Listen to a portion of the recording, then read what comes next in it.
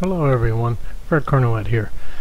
Today we're going to talk about how to set up flaps or ailerons or any two surfaces with Dave's RC Electronics Y. And this Y is, does a little bit more than just send the signal from the receiver to two servos. It also has endpoint. It can also reverse the second channel and you'll see why that's important um, so if the two servos do not rotate in the same direction, but you, you need to reverse one of the channels and you want endpoint adjustment on the second channel, this is the item you're looking for. So if you just need a standard Y harness, just a standard wire wire wire harness, that's easy. But this allows you to change the endpoint of one of the servos which is especially helpful on flaps and ailerons and then it'll reverse one of, and there's two versions one with a reverse second channel and one without the reverse channel if you are in the St. Louis area and if you want to come fly some RCU control line we fly at Buder Park, and which is the northeast corner of I-44 and Highway 141. The Lafayette Escadrille Control Line Club flies there, and there's multiple RC clubs that fly there. And if you want more information about the flying site, go to www.gslma.com, glizma.com, which stands for the Greater St. Louis Modeling Association. Talk to you later. Bye. Hi there. This is the RV4 wing.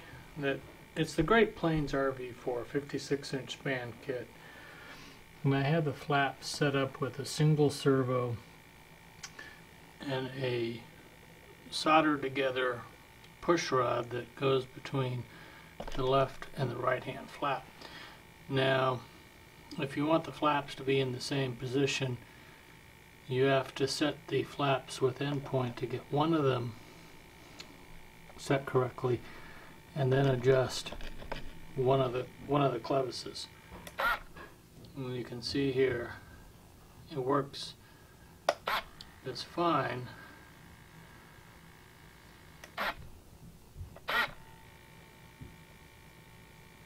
So it is a little bit cumbersome in terms of you have to adjust one of the two flaps to get them in the same position on the trailing edge. So now what we've done here, what I've done with this wing is I've modified it with two servos. But more importantly, let's look at servo direction. So what I've done here is I have a Y harness which I'm taking channel 5 with it which is going to a toggle switch and I'm going to send it to two servos.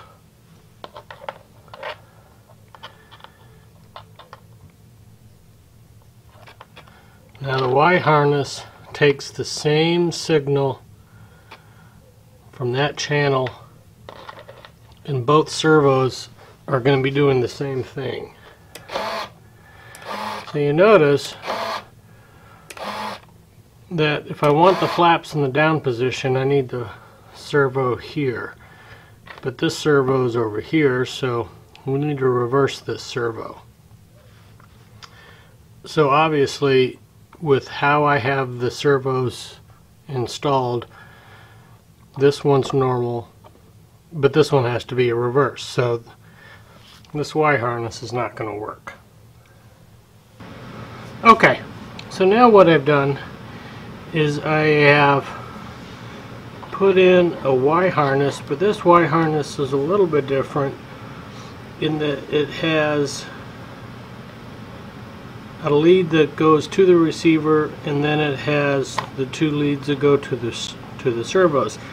However it reverses this channel is reversed and then this channel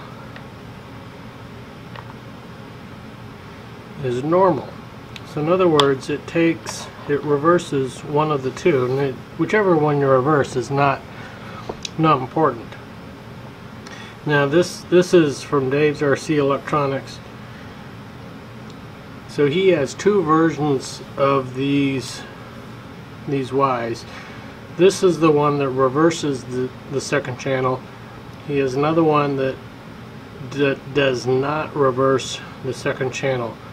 So depending upon if your servos rotate the same direction or a different direction. But you notice now both servos are rotating the correct direction to operate the flaps.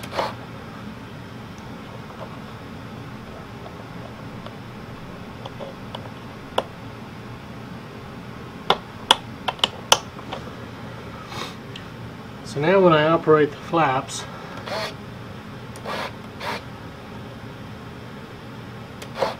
this is the up position, half down, and then full down.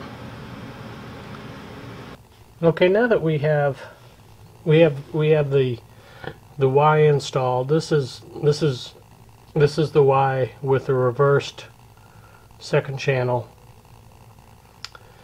We have we have the push rods adjusted so that they're close. But they need some fine tuning because it's hard it may be hard to see but this flap is lined up but this flap is is down a little bit. Now I could adjust this clevis until this flap is up there. But this unit has a little trim pot and this is the end point for that second servo so I can turn this little trim pot